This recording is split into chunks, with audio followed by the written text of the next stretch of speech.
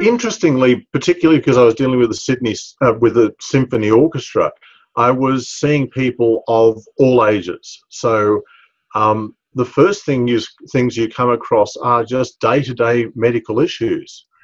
Um, as I got more involved, however, I then came to realize that musicians did have some very specific um, issues.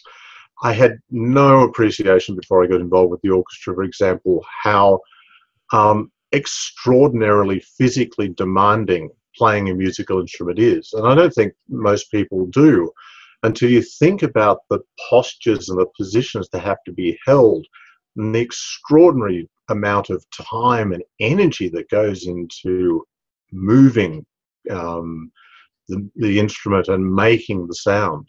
Mm. Um, you know, the, the, the old um, uh, Dire Straits money for nothing couldn't be further from the truth.